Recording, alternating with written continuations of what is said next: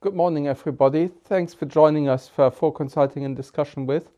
I'm absolutely delighted and honored that we have uh, the German State Secretary for, uh, from the Finance Ministry in Germany, Jörg Kukies, with us. It's an extremely busy time for him and with the German presidency, many other things going on around COVID. So it's a real honor that you've taken the time to speak to me this morning. Um, we've got a very large attendance, uh, which won't surprise you, Jörg um, one of the largest, I think the largest we've ever had in our series, and this is now the 13th event. So uh, that's a reflection of the interest in this. I think with that, maybe I start um, in asking you about banking union. Um, you were co-chairing the um, EFC working group um, around this last year, which led to this report in summer last year. Now you're in charge of kind of taking banking union forward under the presidency. Um, what's your vision? What's your expectations? What's your visions around banking union? Well, I think it's obvious that priorities shifted um, um, a little bit because obviously in the last six months, uh, crisis management uh, with respect to the fiscal policies and the recovery instruments and all of the uh, response to the crisis were certainly at the forefront and uh, took center stage, and I think that was uh, the obvious and right decision. But we're um, since the start of our presidency, we're launching right into the discussion on the um, what we call the holistic approach, namely to discuss all elements of the banking union, namely crisis management, all of the cross-border um, um home host issues. Um, um, the introduction of a deposit insurance, further safeguards for host countries, um, further risk reduction. Um, all elements basically are in the um, are in the mix at the moment, and we have uh, very intensive debates both at technical and political level. Um, so uh, I think we're making we're making good progress, and the Commission has announced several um, initiatives um, on the legislative front. So this thing is progressing, and we're committed to uh, moving it forward. You're right. I should have maybe started with COVID uh, rather than just jumping straight into banking union. Oh. But but to uh, you know, to what extent, if you look at financial services regulation, is COVID impacting the thinking around the banking union discussion? And to what extent, we had a session earlier this week, is COVID also impacting, you know, the banking prudential framework, the work around Basel, the expectations about how the banking system has, you know, managed to handle itself in the crisis and how we respond to the crisis, kind of in, in the prospect of possible rises of NPLs? Well, I think the the um, response um, that we had to the crisis, given that it wasn't only fiscal but uh, also had a lot of elements of um, of uh, reaction to the transmission channel of bank credit to the real economy, um, really showed the importance of the topic of banking union and strong banks. I mean, the fact that, uh, um, as I mean, it's almost sort of a, a standard quote now um, that banks were part of the solution, not part of the problem in the in the crisis response so far. Um, and that goes for many aspects, right? I mean, um, if you if you think about it, there haven't been many recessions um, in history where um, credit provision to the real economy actually expanded substantially, and that's exactly what we've seen in Q2 and Q3. Um, and I think that has um, several elements, um, the most important of which is the strength and capital base of, uh, of European banks um, and global, global, banks for that matter, and that have allowed the banks to be resilient in this crisis. The second is certainly the fact that uh, Europe um, acted very uniformly and that um, that uh, in many, many member states, guarantee programs for lending were installed. Um, Germany um, was very quick um, with our KfW program, but uh, France, Italy, Spain, many other countries um, also um, installed programs like that that allowed um, the volume of credits to continue to uh, to stay solid and even expand. And we installed a, uh, a guarantee program also through the EIB, which is taking a bit long to install, but it's getting it's getting there, and we'll pick up uh, the pace in um, in um, later this year and early next year. So that has really helped. And I think what also helped is that uh, that we responded at the prudential level. I mean, the um, so-called CRR quick fix.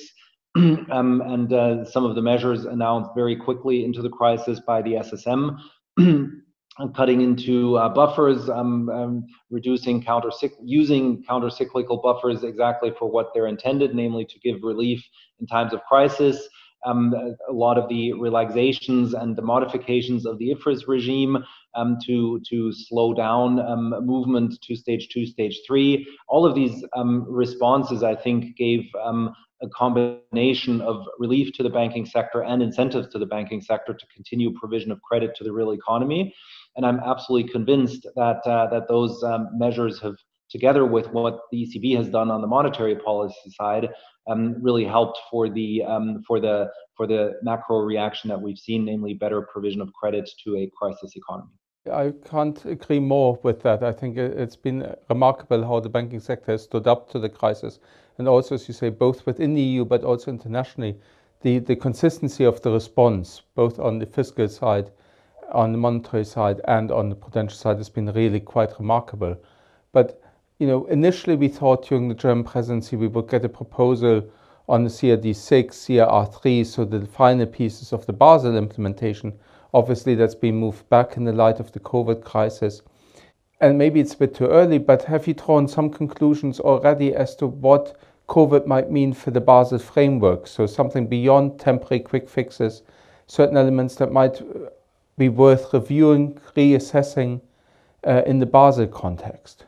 The crisis has the most immediate impact, obviously, in just simply time delay, right? So, I think it was the absolutely correct decision um, given uh, the restrictions on work um, at the Commission and the prior- reprioritization and the massive effort that it takes to um, to get this uh, biggest uh, relief package in history on the road with the um, next generation EU and simultaneously the um, the MFF. Um, I think it was a very correct response um, um, to delay the proposal for for Basel um, and uh, it looks like uh, we'll we'll uh, see the, the, the first indication sometime early next year. So I think that's uh, that doesn't mean that we're not implementing truthfully and faithfully. It just means a delay.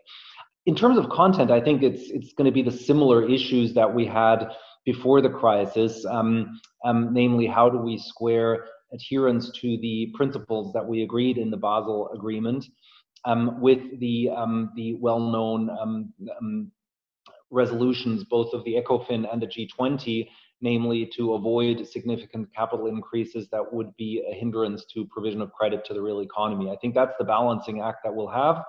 Um, as has become known now publicly, um, um, my uh, friend and colleague uh, Odile Renaud-Basso and I um, sent a letter to the Commission with some proposals that we made, um, that we've by now made public, um, that are, um, I think, quite pragmatic but yet truthful implementation of the output floor that have some ideas on how we can deal with uh, issues surrounding the implementation of the rules regarding non-rated corporates um, and squaring that with the fact that in Europe, um, more com companies are non-rated than in other parts of the world. And last but not least, a um, very important um, um, push towards more proportionality and relief for non-systemic banks. I think those are the three pillars that uh, we agreed with France and proposed to the Commission. And of course, now it's the Commission's job to uh, decide whether to implement those uh, proposals that uh, Germany and France have made or not. No, thank you very much. Maybe two last questions on, on Basel before we may move over, or prudential rules before we move over to the CMU questions.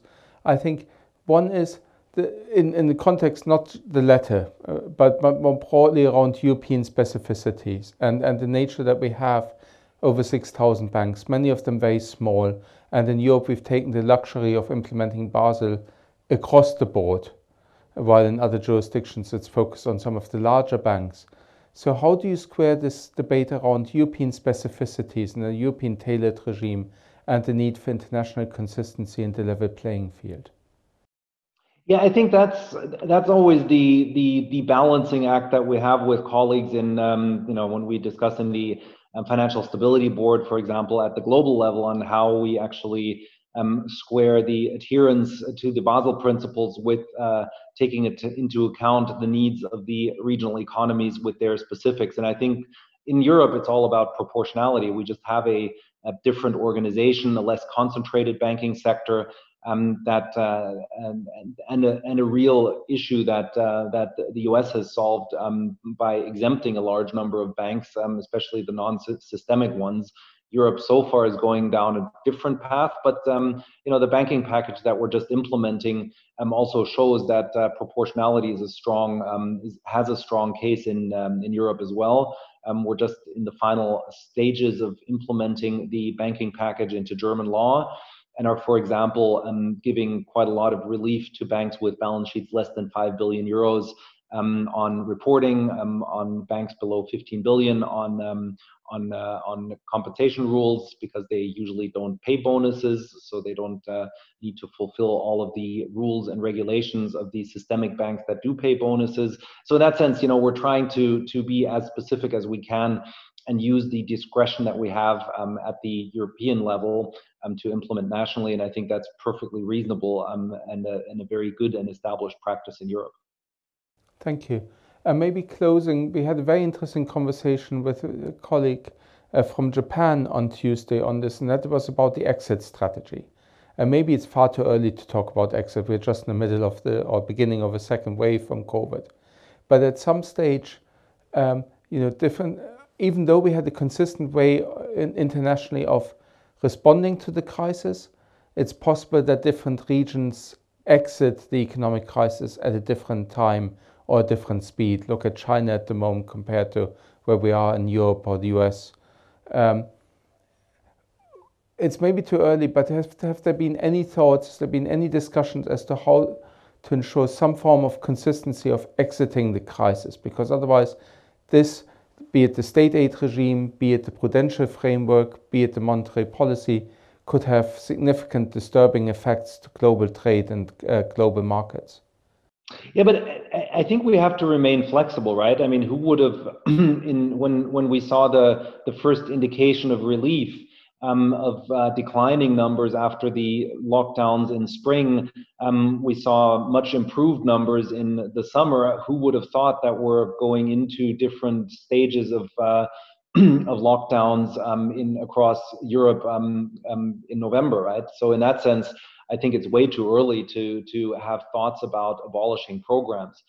Um, I think we have to design the programs such that they will allow a, an exit. And uh, when we think about, for example, recapitalization measures or state guaranteed lending to corporates, um, we structure the um, the um, the entry of the government into the capital structure of the corporates in a way that sort of coerces us to um, exit if and when um, the, the market funding is available again. But we consciously don't uh, don't make any um, firm decisions. I.e., you have to exit by July the first, 2021, because you know who knows um, how quickly we the the current lockdowns will lead to sustainable results in terms of reducing the numbers of the pandemic.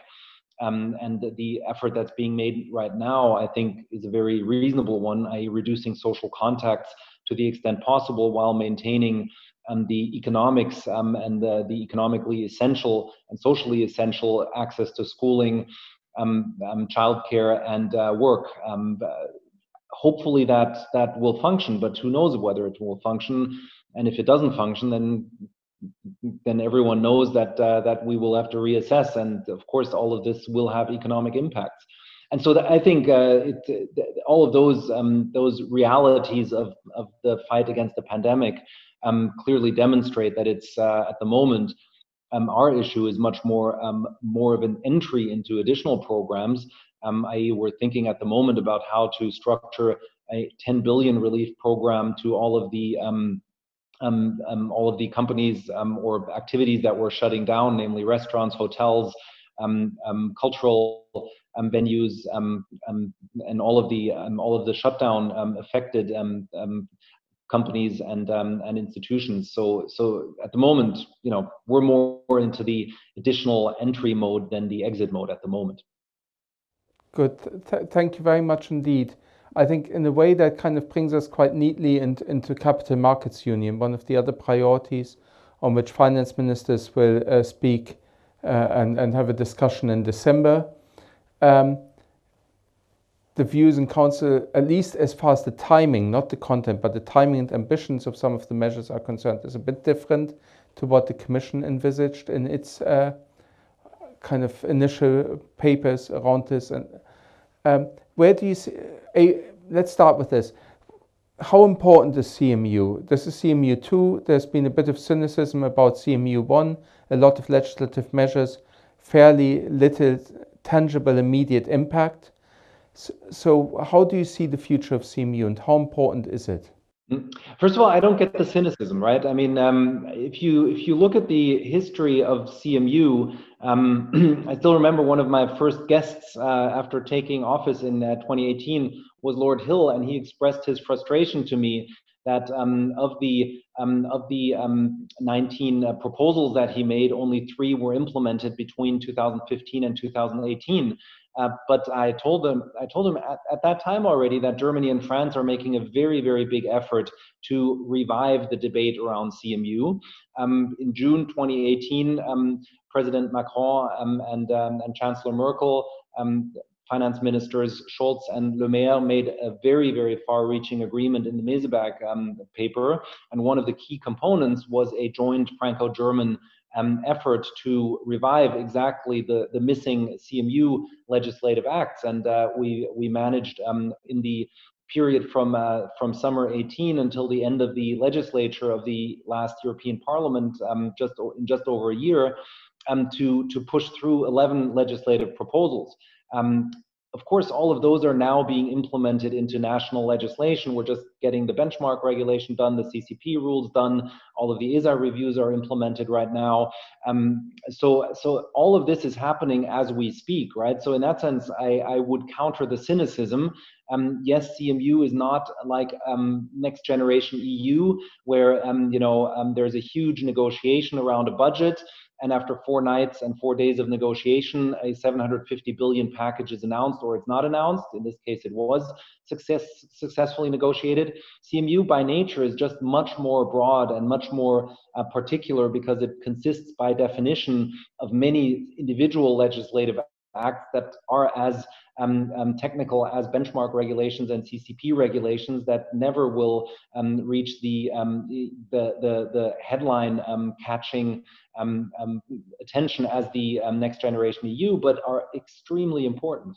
And the fact that you know the Commission just published 120 pages of extremely precise um, um, work by the um, by the um, high-level um, forum that was installed to bring forward the CMU with 17 groups of proposals that we're now um, going through in our presidency, prioritizing them, discussing them with member states, with the goal of getting council conclusions agreed by December, so that the Commission has a very very clear path and very clear support from the member states when it enters into the implementation of all of those ideas into actual legislation um, um, in um, starting in uh, in late 20, early 21. So all of those things are moving forward. The Commission is fully committed. Um, we have sister projects going on um, that are extremely strategic with the Digital Union. Um, if you read MiCA, the markets in crypto assets, if you read the payment strategy, if you read the digital finance strategy that the Commission has, if you read um, um, cyber resilience uh, proposals that the Commission has made, um, th these are also massively important sister projects to the CMU. So I think we're we're really getting into ambition levels that uh, that uh, that uh, will make CMU a reality, and that will make the payment systems that are crucial to support the CMU also a strategic reality. No, you are right. I think and, and forgive me when I said cynicism. It, there's a lot no, happening. It's real. It's real. It's uh, it's a realistic depiction of some of public perceptions. So, but but okay. you're right. I think the number of initiatives that we're anticipating over the next two to three years, I think, is unprecedented. I, at least since I've been in Brussels, just the number of initiatives yeah. and legislation. And I think also um, talking about sister projects, you know, like one of the key controversies um, that we had over the last years was always the lack of a European um, euro denominated safe asset. Um, there was huge debate and massive controversy. Um, and without really any debate around European safe asset, all of a sudden the uh, Commission um, issues um, 230 billion demand um, meeting um, um, paper that uh, that has uh, that has the highest rating category that uh, trades in a um, spread level that you can certainly categorize as safe asset worthy. Um, so in that sense, one of the key controversies of the banking union and the capital markets union discussion um, has essentially been solved by the package that we now have, and that will even though the package is um, is a one-off package, it exists until 2058. So until 2058, we will have massive billions and billions and billions of euros of um, safe assets denominated in euro um, for the first time in history in that kind of volume. So it brings forward a lot of the CMU and banking union debates as well. Yeah, th thank you for saying that. Our very first event that we did was exactly on this, the link between the next generation EU and CMU. And, and I think the only conclusion was it's a really good start, but ideally it would need to be maintained. You know, to, to be a safe asset, a permanent safe asset, we would need further issuances somewhere down the line. But I know that's a controversial issue and I leave that to the side, but purely from a, a safe asset strategic perspective. But it's not, I, I, I would, to be perfectly honest, I disagree with that because it is agreed, right? Because the, the next generation EU will run until 2058.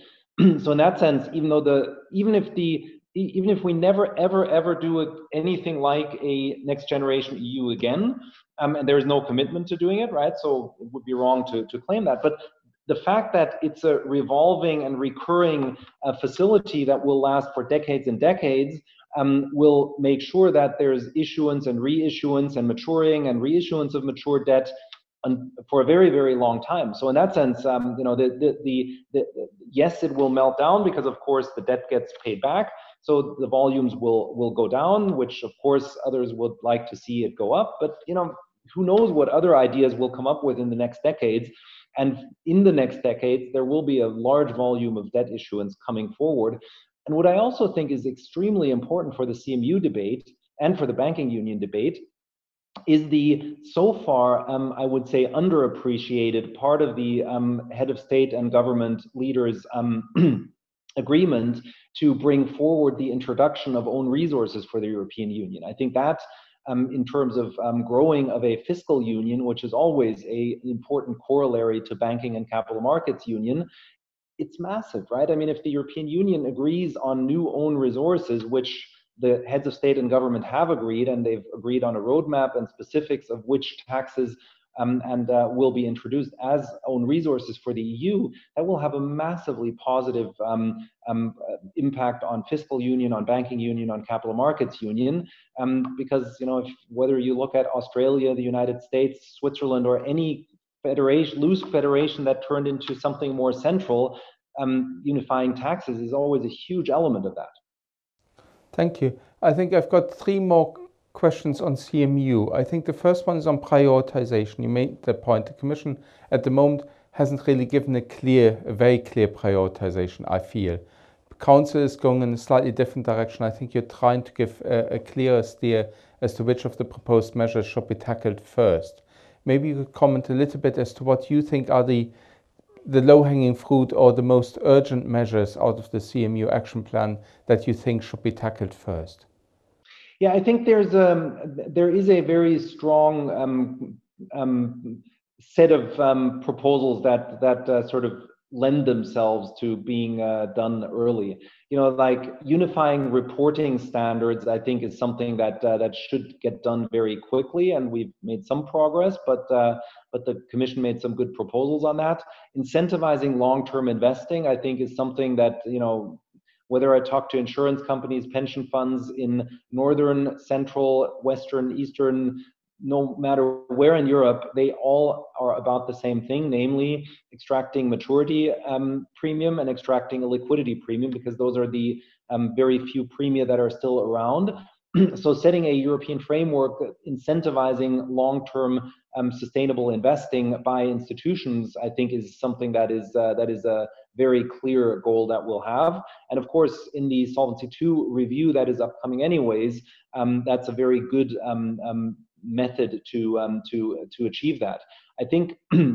we will also see that through the increased um, debt levels of corporate of the corporate sector during this crisis will obviously in the second round lead to a very natural um, rebalancing of balance sheet uh, requirement that will require equity and so i think um, a european initiative um, how we can um, get get markets to provide more equity finance um, across the board in Europe, specifically to small and medium companies, I think is another one of these um, ideas that the Commission has that I think is extremely valuable.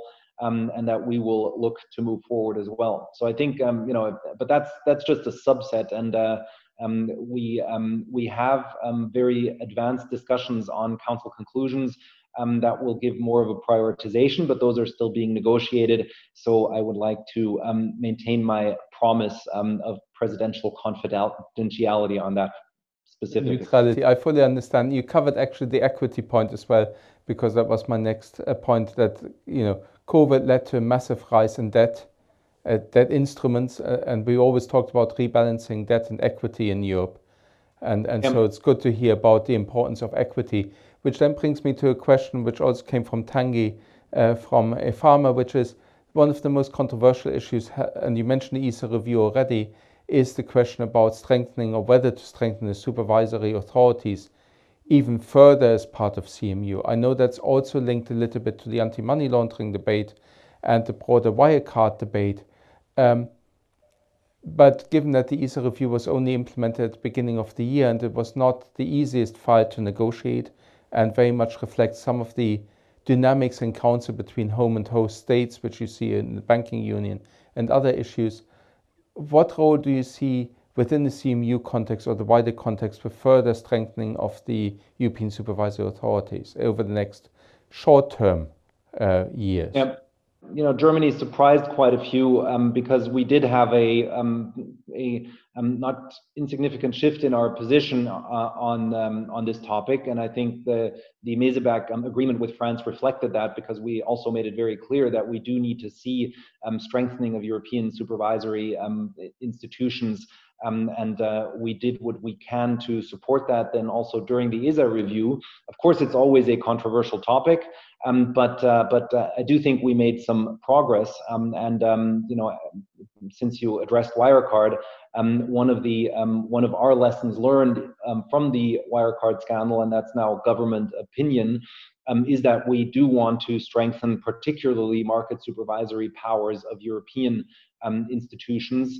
Um, and we want to look at best practices in the US um, and, um, and, um, and uh, other regions of the world to see how market supervision at the central level can um, can help avoid some of the um, problems that we had. So in that sense, I think we're all in line that we need further strengthening. Of course, um, you know it's a sensitive topic because those who are critical about moving more supervisory power to the European level have, have the standard argument: we've just had a review, no more reviews. Um, but um, you know others argue, you know we're always in review mode, right? So we always have to advance, and given that reforms take very long to implement in Europe. I don't think anyone can prohibit a discussion around further harmonization. And you mentioned the AML topic. Um, you know, the establishment of a European AML authority um, is something that uh, we as presidency can find um, both we support wholeheartedly, and when we're discuss- discussing the forthcoming um, council conclusions on AML, we see huge support um, um, in favor of a, moving from D to R, namely from directive to regulation, to harmonize AML rules across Europe. Um, and second, um, to establish a European authority on uh, on AML. So I think it's uh, it's something that uh, that is that that is moving ahead. Um, some will always say that it's too slow, but we're definitely making progress, and will continue to address this issue of supervisory harmonization in a very uh, forward-looking manner. Thank you very much.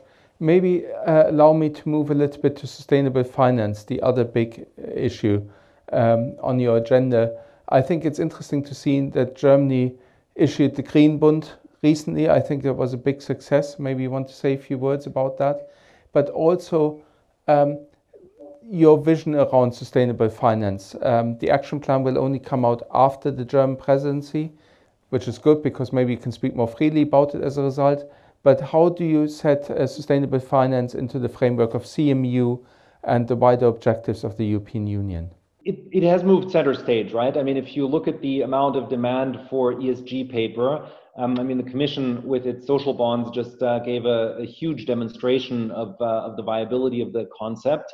Um, when it's interesting because when we had our debate around um, issuing our first ESG bond, um, all investors told us there's only one topic that interests investors at the moment, and, and that's the E in ESG. Um, and just a few months afterwards, you know, the, the European Commission generates uh, 230 billion of demand for an S uh, in ESG bond, um, namely a social bond. So I think uh, I think it just shows the speed um, at which this topic is getting um, to the middle um, and the mainstream of investing. So I think that's that's that's probably the most important um, insight that we've uh, that we've been able to have. Um, and given the large demand that we had for our first 10-year uh, um, Green Bund, um, we will continue with a five-year um, Green Bund um, as we announced in the course of November, and that's pretty soon. So in that sense, I think uh, um, you know this topic will will gain center stage very very quickly and continue. I think what's extremely important now is that we move forward on the on the level two on the taxonomy. Um, we had a very difficult, but at the end fruitful and constructive decision and uh, decision-making process on um, on the level one. Um, we're agreed now; it's done, um, and now it's extremely important that we get a pragmatic and workable solution on uh, on level two, so that uh, the capital markets actually use the taxonomy broadly. I think that's extremely important. Um, that that we get channel finance to transition um, um, um, investments that move that allow our economy to move those sectors that are still uh, that are still heavy consumers um, of, of, of energy and uh, uh, that have large car carbon footprints to deploy the capital and to get the capital at reasonable um, financing levels to allow them to shift um, to carbon neutrality. And uh, many sectors um, of our industry, namely steel, um, namely automotive, are being incentivized massively by our fiscal programs to go down exactly that route. So I think uh, I think that greening of the economy is actually move, move, being moved forward quite substantially by the current crisis in a positive way. Uh, one area that's under discussion, and the question came in from Stefan Marx, of Deutsche Bank on that, is around the prudential weightings. So uh, not jumping all the way back to the beginning of our discussion, but the trade-off between creating incentives in the prudential framework, green supporting factors, for example, and balancing that with risk, and balancing that with the long-term availability of data around you know, the risks in, in the environmental, but as you say, in the whole ESG space, we yesterday had an event specifically on the social dimension, actually. Um, what, what's your feeling about that balance between the risk elements which the supervisors are concerned about and the incentivization that might come through uh, more favorable risk weightings in this area? Yeah, I, am very skeptical on trying to politicize the prudential world, and I think uh, green supporting factors to me are are you know supporting factors can work if and only if there is hard empirical evidence that there is less risk in certain activities and so far, nobody has demonstrated that um, you know wind farms, solar farms, um, and um, hydrogen are non-risky economic activities. In fact, they're very risky, and I wouldn't say they're more risky necessarily than others, but there is economic risk in financing um, renewable energy projects, right? And that's normal, that's natural. It, it would be um, it would be awkward if there weren't. Um, and I think as long as the there is no evidence that there is less risk in renewable energy projects than in um, standard ones, um, I don't see a, a, a, real convincing argument for prudential um, relief. Um, if we incentivize massive overinvestment only by giving prudential relief, um, that could create bubbles, and uh, those would be, I would say, counterproductive in the long run. So, in that sense, um, you know, we're looking at this. It's not like we're saying never, um, never ever. If someone um, proves to us, or if there is um, there's consistent empirical evidence um, that um, that uh, for whatever reasons there's less risk, you know, we're happy to look at the hard data. But so far, we haven't seen hard data that's compelling evidence to to move forward on green supporting factors. Actually, a good question came in there just now, linking to this, Jörg, which is.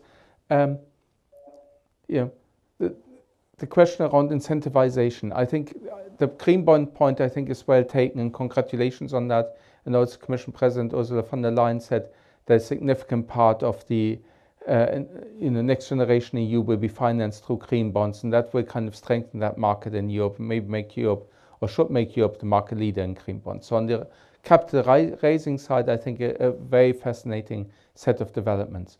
But if we look at from a perspective of a corporate, not a financial institution, but a corporate, the incentives there to, to manage the transition. How do we manage that? We will have a, a proposal on non-financial reporting. We have increasing obligations on corporates to provide data.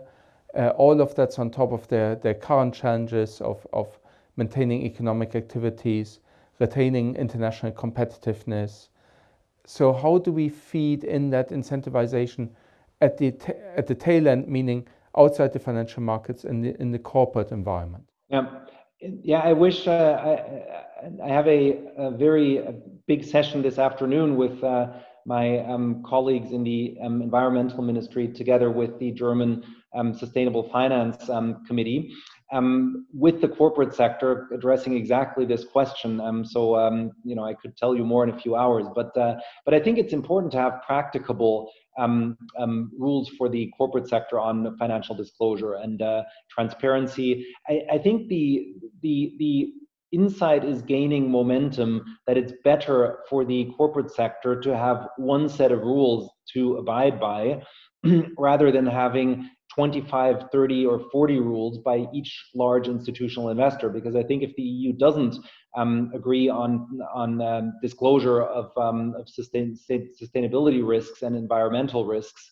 um, each investor of any size will, will demand reporting, and um, it will be much easier for the corporate sector to have a standardized set of rules to um, to report to. That's much more scalable in terms of resources investing in, invested into the reporting mechanism um, than if they um, have to adhere to um, you know investor A, B, C, D, E, F, G um, um, individual reporting requirements. And all investors that we talk to are telling us exactly that. They're waiting for the EU um, to establish a standard. If that's a good standard, they will just accept that. if, if it's not, if the, if the standard doesn't exist, or if it's not a good standard, then they will all um, demand their own standards, and that will be much more complicated for corporates to adhere to than if there's one um, uniform efficient set. Thank you. Yes, and maybe with an element of proportionality, because you're right, at the moment there's over 150 different standards out yeah. there, and, and at a minimum it's forum shopping, and at worst it's, as you say, multiple reporting requirements by the same corporate. There's a number of questions that came in which I would call are, are slightly broader, and I would like to bring those together at the end for the last five minutes. But maybe for five minutes we could just move to the digital agenda. You already mentioned MiCA, crypto assets. There are two legislative files, actually important legislative files that uh, your colleagues in the ministry are actually dealing with at the moment in, in, working groups on crypto assets, on which we already had a discussion, and on DORA, operational resilience, where we had a separate session. I know you're very keen on, on this issue of digitalization of financial services. Maybe you would like to say a little bit around where you see that agenda moving um, and how it might impact the regulatory and policy debates around financial services? Yeah. so first of all, I think it's a huge opportunity for Europe, right? I think what what is underestimated is how powerful our digital payment systems are at the moment. If you look at the Target 2 system, SEPA, instant payments, um, and I, if you compare that with the you know regions of the world that are still writing checks, um, literally physical checks um, that get settled within days um, or even weeks. Um, Europe has the infrastructure and the the technology at the um, at the central bank payments organization level um, that is second to none. The ECB is extremely um, thought leading in terms of in terms of conceptualization of how further digitalization of our currency system could look like the European Central Bank is extremely pragmatic and uh, forward-leaning um, on um, on introducing the European Payments Initiative. And so now I think it's exactly appropriate and correct um, that the Commission, um, at the political level, is also introducing a, uh, I would say, globally standard-setting um, set of rules. And I think um, you know MiCA will be the acronym to memorize and to familiarize uh, oneself with if um, one wants to stay um, up to date about the global debate around stablecoins and digitization of crypto assets and electronic payments and electronic um, um digital ways to uh, to um, to move assets from um, A to B, to use them as storage, to use them as transaction tools, as investing tools. I think this is a huge opportunity for Europe to really get thought leadership and and and uh, set establish a set of rules that will, um, on the one side, create more efficiency by reducing barriers, and that will allow companies in this sector to grow through scaling and through reducing barriers to create a true internal market.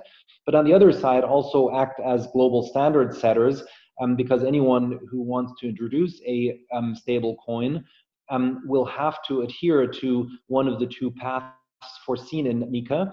Um, and um, and you know that will really, really set a standard and um, and force everyone to think about if you want to access the European Union, um, you better um, take into account the rules that the European Union has set. And therefore, I think that will get uh, quite a lot of uh, global um, power. Um, also relating, I think, very importantly to the question of competitive policy, um, i.e., one of the very important components of the um, of the package uh, proposed by the Commission, I think, is access to platforms um, and um, prohibition um, for owners of the platform to curtail access through um, through closing their APIs. So I think it's extremely important that this opening of the system um, is something that will increase competitiveness, drive down prices, increase supply of innovative of, of innovative products and lead to another um, you know series of uh, of uh, creation of um, of, uh, of companies in this sector in Europe. You raised, and I think very rightly, the fact that in payment systems at the moment, Europe is extremely competitive and extremely innovative compared, for example, to the US, still where checks, as you say, are still written out. But there's also this concern, let's call it because it was one of the questions around strategic autonomy around open strategic autonomy. The fact that in reality, a lot of these technology companies are still non European. We look largely to the West towards the US, but we could also look towards China with, with the growing market there of, of uh, technology companies. And, um, you know, Libra is one example. We've, you've mentioned already kind of com- platforms, um, companies entering the market. How do you see this view of strategic autonomy? Because there's the concern, of course, that it might kind of shut Europe off or that we're trying to compete artificially, that a lot of public funding might be put available to come to the same level of innovation rather than investing in areas where we are in Europe leading. There's a lot of concern around this concept of strategic autonomy, particularly in the context of financial services and even more so in the payment space. Maybe you might want to kind of set out the thinking there, how we kind yep. of remain open in this area. Yeah, and I mean, and the the strategic deficiency that we clearly have is yes, we can pride ourselves in having a fantastic infrastructure, um, but um, but the U.S. has been just much more efficient um, at uh, commercializing um, and um, and finding efficient ways around their um, you know check writing infrastructure. So in that sense, it, it's great for Europe to have this fantastic infrastructure. But as long as the commercialization of the idea behind um, the digitization of payments um, and instant payments um, and um, all of the business models behind that um, are coming from US corporates and not um, European ones, then job creation, value creation, and all of those things will come from the US. And I think the key the key thing that we will have to address in Europe um, is how we find ways to scale um, um, startup companies into bigger companies, right? I think uh, if you look at the numbers, it's not like Europeans don't um, act as founders of companies. The problem is once a company is founded, um, it, its scaling process um, is much more difficult in Europe than in the US. One of the reasons, of course, is a lot of these companies are active in service sectors.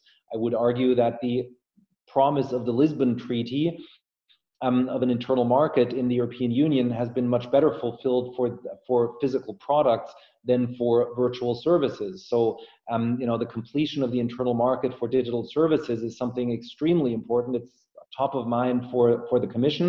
I think that's you know, in terms of strategic autonomy. Um, you know, the, the practical question. You can debate big picture a lot about strategic autonomy. Um, there was a time in Germany where a, a small company called StudiVZ um, was at the same level of subscriptions as Facebook. The big advantage that Facebook had is it could scale immediately across 50 states in the United States.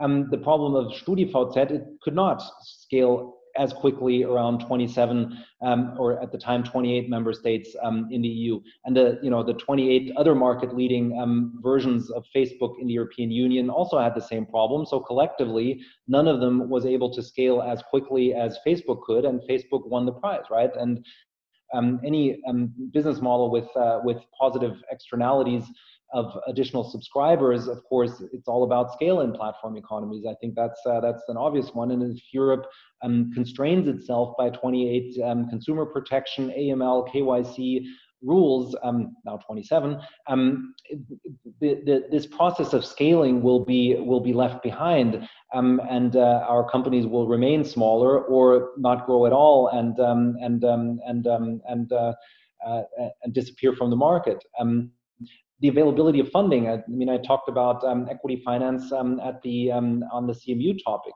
Um, if you read the history of Facebook, Amazon, Google, um, venture venture capital plays a huge role in all of those in all of those business models, and it uh, is tiny relative to the U.S. and Europe. So we massively have to grow VC in in Europe. Um, Germany just announced um, a 2 billion program immediately and a 10 billion program to um, incentivize venture capital. Um, I announced um, that we're moving ahead with further legislation on um, VC motivation and incentivization just yesterday that uh, we're in the final stages of legislation on that, proposing legislation that will move forward on both incentivizing venture capital movement to Germany and um, employee uh, stock option um, programs to incentivize employees to also come here. So I think you know there's a lot going on. France has similar projects. Um, the EU has similar projects. So there's a lot going on, but we have to we really have to execute on those um, on those proposals um, because we have a lot of catching up to do. Thank you. We we just hosted an event earlier this week with a number of entrepreneurs on how to scale up in Europe and what the barriers are which also mm. includes tax, for example, or uncertainty around tax yep. legislation. But uh, it's interesting yep. you say that. One very last question, so I'm conscious of time. It won't surprise you. We haven't mentioned the B word yet, Brexit. Uh, I know you can't comment on the negotiations. I know you're not close enough to the negotiations, maybe even. But um, nonetheless, I will ask the question because I know you're a perpetual optimist. Uh, how, what, what's your vision for the future? Let's put like that. What's your vision for the future of the EU UK relationship? Well, I think no matter what comes what comes up, of course, there's so much uh, depth and intensity of relationship between European um, countries and the UK that uh, you know the, this will not degenerate into animosity. I'm absolutely convinced about that. Um, you know, German corporates, for all I can tell, rely massively on access to wholesale financing um, um, um offers from the City of London. Um, so in that sense, I think um, you know the, we will have to maintain uh, pragmatism no matter what happens, and I'm convinced that that will be the result. But of course, at the moment, uh, we are deeply concerned by the lack of progress in the negotiations, and uh, that is something that um, that uh, for a very large part of the foreseeable future, if it goes wrong, um, would be a massive detriment to integration steps. So I think I think that uh, that is uh, that is something that uh, hopefully can still be resolved. And um, you know, hope for the best, plan for the worst is a good maxim there. Um, but uh, but obviously, as you say, um, you know, we can't comment in, any way, shape, or form on the progress of the negotiations at this stage. No, thank you very much. With that, I, I think I should relieve you. Uh, but I would like to thank you very, very much for spending this time with us. I wish you all the best for the remainder of the German presidency and beyond. And uh, hopefully see you sometime soon again. I know you've been supporting us repeatedly, and a big thank you for that. And uh, thanks from the whole audience, which can only kind of virtually thank you. Uh, but with that, I wish you a very good Friday and a good weekend when you get a chance to get to it. And a big thank you again. Thanks, Jörg Kukies. Thank you.